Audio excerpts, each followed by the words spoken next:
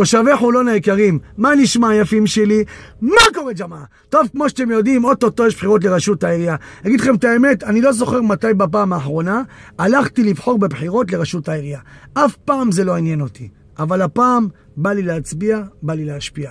יש בחור צעיר, מה קוראים אותו מייקל בוזגלו. הבחור הזה נקרא בשפה שלנו עילה, בן אדם שמתעלק. אין מפגע בעיר שהוא לא לוקח את הפלאפון שלו ועושה לייב.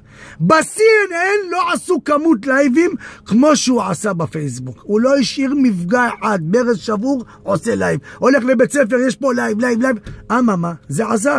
אחרי יום, אחרי יומיים, סידרו את זה. הבחור הזה הוכיח לי שהוא יעיל. מייקל בוזגלו הוכיח לי שהוא לא רק גר בעיר, הוא גם חי את העיר. הלוואי היה לי כוח להשקיע בבית שלי כמו שהוא משקיע בעיר. שנתיים לא החלפתי מנורה בבית. בא לי לתת את המושכות לבחור הזה. כבודו של מוטי ששון במקומו מונח. למוטי ששון יש המון המון המון מניות בעיר הזו. אבל עיר הילדים, בואו ניתן לילד את המושכות. פעם חשבתי שבחור צעיר לא יכול לנהל עיר, בא רוביק דלילוביץ', הוכיח לי אחרת.